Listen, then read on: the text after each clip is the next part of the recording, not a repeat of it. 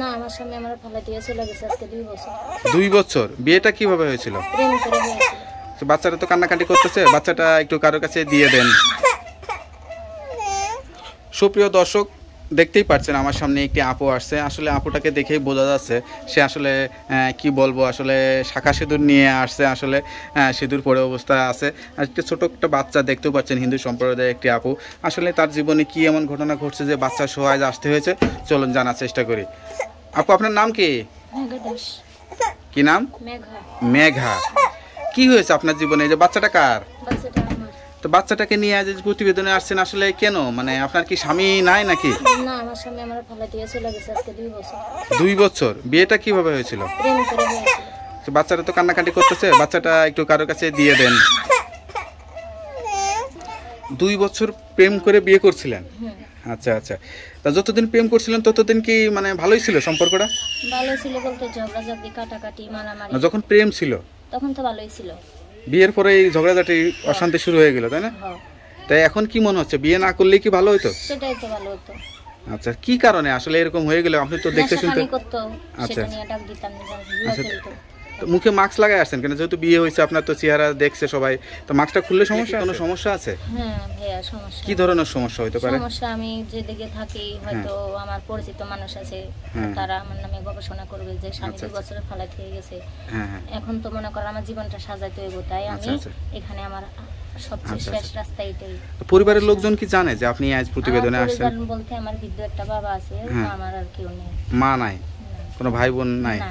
তারা আচ্ছা, থাকলে আচ্ছা। তো আমার কোনো সমস্যা হতো না আর আমি প্রতিবেদনে আসতাম না। বাবাটাও একেবারে বৃদ্ধ হ্যাঁ আমি বৃদ্ধ আচ্ছা মানে। তো এখন মানে আহ, মানে কি চিন্তা ভবিষ্যতে এখন বিয়ে শাদী করা ছাড়া আর কোনো চিন্তা ভাবনা আছে আছে যদি কোনো পুরুষ মানে মনের মতো হয় আমাকে ভালোবাসবো আমার দেখাশোনা করব এবং আমার বা- বাবা উম, ছেলের যত্ন নিব হুম অবশ্যই আমি আচ্ছা আচ্ছা।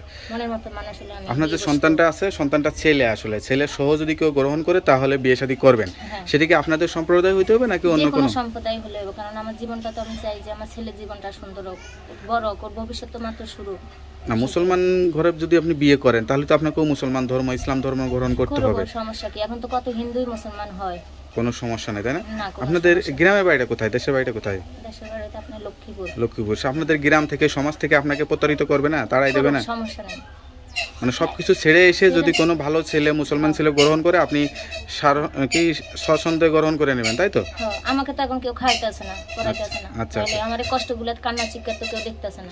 তো। আপনার দিনটা কীভাবে কাটায়? মানে খরচ সংসারে যে খরচ আপনার খরচ বাচ্চার খরচ কীভাবে চলে? অনেক কষ্টে। কোনো সময় দেখা যাইতেছে আপনার হ্যাঁ। খুঁজা টুজা নেওয়া লাগে। বাসা বাড়িতে কাজ করে কয় টাকা পাই? আচ্ছা আচ্ছা। কাজ করি। তো এই যে হাতে তো দেখা যাচ্ছে সিঁদুরও আছে আবার শাখাও পড়ে আছেন। এই- এইটা কেন? এখনও পড়ে আছেন কেন? এখনও তো আমি তো তারে তালাক দি নাই। আচ্ছা আচ্ছা। তাহলে তালাক না দিলে কীভাবে আপনি বিয়ে করতে যে আমাকে বিয়ে করবে যদি হিন্দু হোক বা মুসলমান হোক যে আমাকে বিয়ে করবে তখন আমি এই সম্প্রদায় ছেড়ে আমি যদি ওই স্বামী যদি আবার গ্রহণ করতে চায় না ওই স্বামী যদি গ্রহণে করতে হচ্ছে তো আর ওই স্বামীর কাছে আমি আর যাব না। কেন যে করতো জায়গা জায়গায় বসে থাকতো। তাহলে একবারে ছাড়াছাড়ি করে নেন হয়তো দেখবেন কোনো ভালো কোনো কিছু হয়তো হবে। না সে বিয়ে করছে আমি এটাও শুনছি। কারণ সে আচ্ছা, আচ্ছা। মা আছে বাবা আছে, তো জুলাই রেখে কোনো দরকার নেই আমি মনে করি তাই বিয়ে করছে সেটা আমি শুনছি তাই তো আমার জীবনটা সরকার হয়েছে। আচ্ছা, নাহলে আচ্ছা। তাও আমি আর- ধরে থাকতাম আচ্ছা। লেখাপড়া করা হয়েছিল? ক্লাস ওয়ান টু পর্যন্ত পড়ছি। বেশি লেখাপড়া করেন লেখাপড়া জানলেও তো একটা গার্মেন্টসে চাকরি করে হোক বা যেভাবে হোক দিনটা কাটাইতে পারতেন। এখন যেহেতু লেখাপড়া নাই। পারি না দেখেই তো মনে করেন এই প্রতিদানে আচ্ছা আচ্ছা। এখন এসে সবচেয়ে কষ্ট দেয় কোন বিষয়টা ভাবলে? ভাবছি যে কোনো ভাইয়া যদি আমাকে মনের মতো কোনো একটা ভাইয়া যদি মনের মতো হয় আমার আমার ভরণ পোষণ এবং সে যদি আমাকে সুখ সমৃদ্ধ দিয়ে রাখতে পারে তাহলে আমি তাকে গ্রহণ করব। তাকে গ্রহণ না? হ্যাঁ। আচ্ছা আচ্ছা। তা যাই হোক আপনার এই কষ্টের কথাগুলো শুনে অনেকে আরও তথ্য জানতে পারবেন। কারণ আসলে আপনার এই কষ্টের কথা তো প্রতিবেদনে সব কিছু বলাও সম্ভব না। যারা ফোন দিবে অনেকে যোগাযোগ করতে চাবে। তা নাম্বারটা তো দেওয়া যাবে। হ্যাঁ অবশ্যই। নাম্বারটা মুখস্থ দিলে সমস্যা নাই তো? না সমস্যা নেই। মোবাইল নাম্বারটা দিলে সমস্যা নাই তো? না না। নাম্বারটা মুখস্থ আছে? না। তা আমার কাছে দেন তাহলে আমি দেখে বলে দিচ্ছি। হ্যালো বিয়ার শুনতে পারলেন এক অসহায় মানে স্বামীহারা একটি নারী বলেন বা আপু বলেন, যেটাই বলেন না কেন, আসলে হিন্দু সম্প্রদায়ের মেয়ে, আসলে তাদের সমাজে এরকম ঘটনা ঘটে না বা বেশি একটা দেখাও যায় না।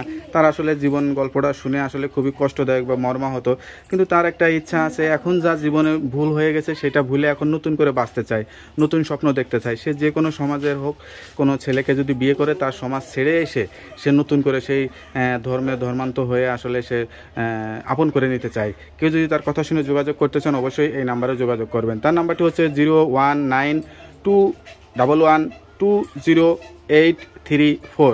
নাম্বারটা খোলা থাকে তো? যাই হোক, নাম্বারটা খোলা রাখবেন, কেউ ফোন দিলে সত্যি কথা বলবেন।